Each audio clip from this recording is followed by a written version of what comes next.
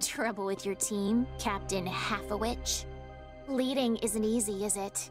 All your time is spent helping the team, keeping people from fighting, planning your next move, and Titan forbid you show any weakness. Everyone else falls apart.